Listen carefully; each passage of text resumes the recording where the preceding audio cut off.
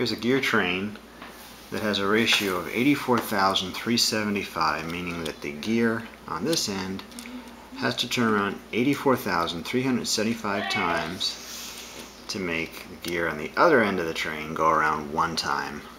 And if I turn one of these ones in the middle, you can see how fast the gears at the fast end are moving and how slow the gears at the other end are moving.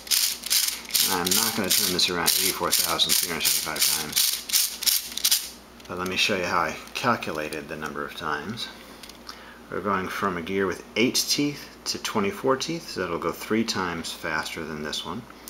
That one is attached to another gear with 8 teeth. This attached to one with 40 teeth, so that'll go 5 times as fast. So every time it goes from a small gear to medium gear, it goes 3 times slower. From a small gear up to a large gear, it goes 5 times slower. And if you look here, it's going from a small gear up to a big gear 5 different times. So that's 5 times 5 times 5 times 5 times 5 and it's going from a small gear to a medium gear with 24 teeth three times.